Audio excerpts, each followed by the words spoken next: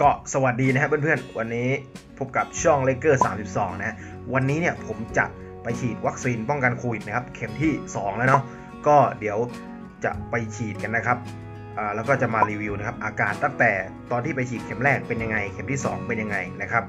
แล้วก็รอดูกันนะครับ อาจจะดูสักวัน 2 วันก่อนแล้วจะมารีวิวอีกทีหนึ่งนะครับ ก็ไปฉีดกันเลยครับ แต่ก่อนไปนะครับอย่าลืมกดไลค์กดแชร์กด Subscribe เป็นกำลังใจให้ด้วยนะฮะ ไม่รู้ว่าคลิปนี้นะครับ ผมจะยังรอดอยู่หรือเปล่านะครับอะไปครับ เราก็จะไปฉีดวัคซีนกันนะครับอะเราจะเดินไปสยามพารากอนนะครับ นี่คืออ่าเรามาถึงแล้วสยามพารากอนอ่ามาถึงครับก็รอวันชั่วโมงหนึ่งนะ แต่เราก็มาสแตนบายก่อน เพราะว่าเราไม่มีอะไรทำวันนี้นะครับ คนเยอะมากนะครับ อะตอนนี้ก็อยู่ในแถวเลยนะครับ คนโคตรจะเยอะนะ รอไปสักพักนะ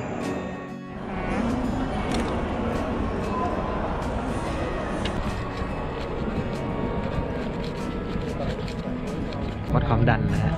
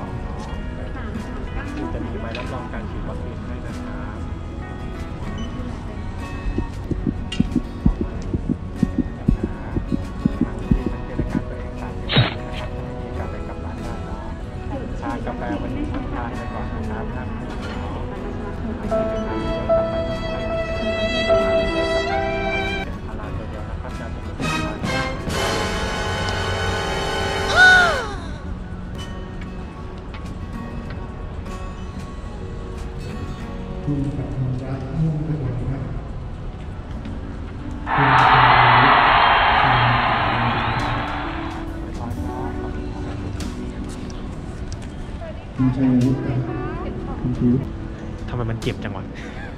เข็มแรกไม่เจ็บ เข็มสองโคตรเจ็บเลย ปวดชิบหายคุณพรประเสริฐปานนะครับโอ้ยมั้งครับวันนี้คุณพรวันนี้ยูทูบเบอร์เป็นไงบ้างวันนี้มันมันเจ็บกว่าเข็มแรก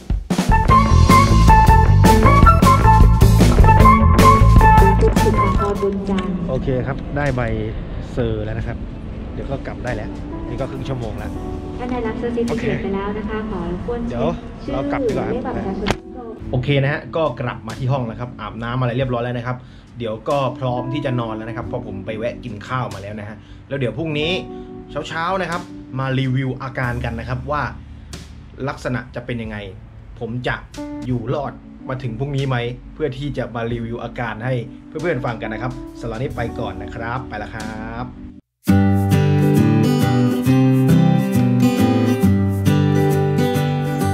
อะก็